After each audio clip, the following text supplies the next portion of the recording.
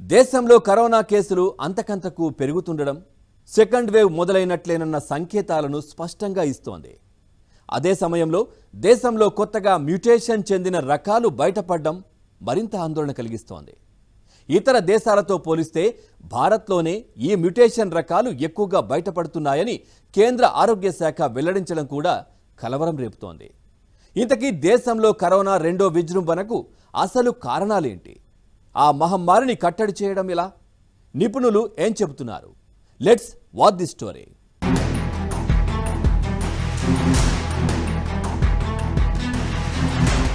దేశంలో corona virus తీవ్ర రూపం దాల్చుతోంది. కొత్త కేసులు మరణాలు రోజు రోజుకు భారీగా పెరుగుతున్నాయి. గత కొన్ని రోజులుగా కరోనా కేసుల సంఖ్య అంతకంతకు అధికమవుతుండటం నిత్యం రికార్డు స్థాయిలో వైరస్ సోకుతుండటంతో దేశంలో సెకండ్ వేవ్ మొదలైందని వైద్య నిపుణులు అభిప్రాయపడుతున్నారు. గత మూడు రోజులుగా నమోదవుతున్న కేసుల సంఖ్యను పరిశీలిస్తే ఈ విషయం స్పష్టమవుతుందని వారు చెబుతున్నారు.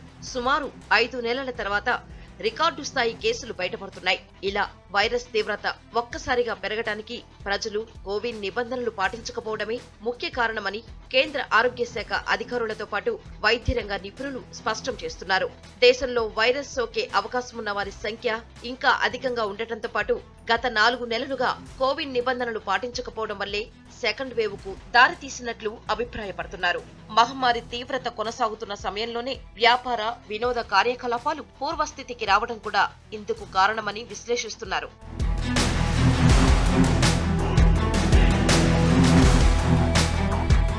దేశంలో కొత్తగా నమోదవుతున్న కోవిడ్ కేసుల్లో సగానికి పైగా కేసులు మహారాష్ట్రలోనే బయటపడుతున్నాయి. ఆ రాష్ట్రంలో కరోనా పరిస్థితి రోజు రోజుకు కలవరం పుట్టిస్తుంది. నిత్యం ముప్పై ఐదు వేలకు పైగా కేసులు నమోదవుతుండటం వందకు పైగా మరణాలు సంభవిస్తుండటం ఆందోళన కలిగిస్తుంది.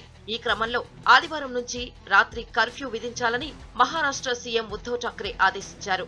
షాపింగ్ మాల్స్ను రాత్రి ఎనిమిది నుంచి ఉదయం ఏడు గంటల వరకు మూసి ఉంచుతూ నిర్ణయం తీసుకున్నారు. కోవిడ్ నిబంధనల పట్ల ప్రజలు నిర్లక్ష్యంగా ఉంటే ఆంక్షలను మరింత కఠినతరం చేస్తామని ముఖ్యమంత్రి ఉద్ధవ్ ఠాక్రే హెచ్చరించారు.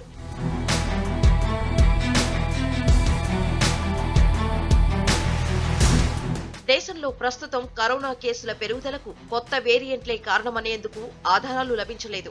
అయితే మహారాష్ట్రలో రెండు ఉత్పరివర్తనాలు జరిగిన కరోనా వేరియంట్ వ్యాప్తి గత ఏడాది డిసెంబర్తో పోలిస్తే బాగా పెరిగినట్టు ఇన్సాకా గుర్తించింది. మహారాష్ట్ర నుంచి సేకరించిన నమూనాల్లో ఇరవై వరకు ఈ వేరియంట్ వేనని తెలిపింది. మరోవైపు రీఇన్ఫెక్షన్లకు కారణమయ్యే N four forty K variant AP తెలంగాణలో ఎక్కువగా ఉన్నట్లు ఈ పరిశోధనల్లో తేలింది. ఏపీ నుంచి సేకరించిన నమూనాల్లో ముప్పై మూడు ఈ వేరియంట్ కేసులే కాగా తెలంగాణ నుంచి సేకరించిన నూట నాలుగు నమూనాల్లో యాభై మూడు ఈ వేరియంట్ వేనని వెల్లడైంది.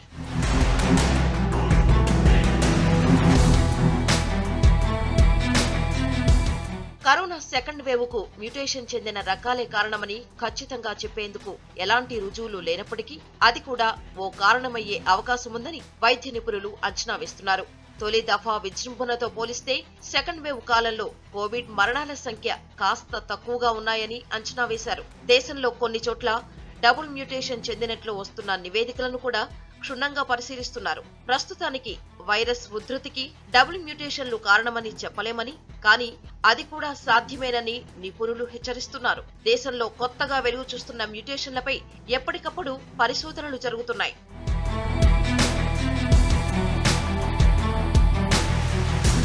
దేశంలో గతేడాది డిసెంబర్తో పోల్చితే ఈ four eight four Q L four fifty two R ఉత్పరివర్తనాల వేగం పెరిగిందని కేంద్ర ఆరోగ్య శాఖ గుర్తించింది. ఈ మార్పులకు లోనైన వైరస్లు రోగ నిరోధక వ్యవస్థకు చిక్కకుండా మహమ్మారి వ్యాప్తికి కారణమవుతున్నాయని వెల్లడించింది.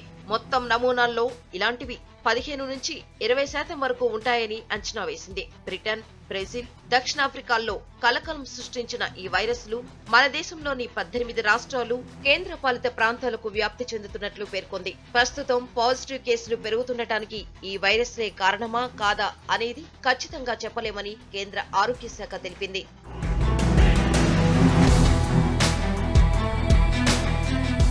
కోవిడ్ మహమ్మారి కోరలు చాస్తున్న వేళ దీన్ని కట్టడి చేసేందుకు వ్యాక్సినేషన్ ఒక్కటే మార్గమని ఆరోగ్య రంగ నిపుణులు స్పష్టం చేస్తున్నారు.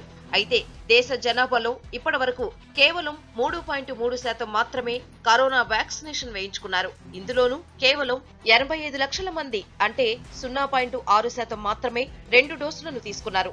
వ్యాక్సినేషన్ ప్రారంభమై రెండు నెలలు గడుస్తున్నా ఇప్పటికీ ఆశించిన మేర వ్యాక్సిన్ పంపిణీ జరగడం లేదని ఈ ప్రక్రియను మరింత వేగవంతం చేయాల్సిన అవసరం ఉందని నిపుణులు సూచిస్తున్నారు. ఈ క్రమంలో టీకా పరిధిలోకి మరింత ఎక్కువ మందిని తెచ్చేందుకు ఆలోచిస్తున్నామని కేంద్ర వైద్య శాఖ మంత్రి హర్షవర్ధన్ తెలిపారు.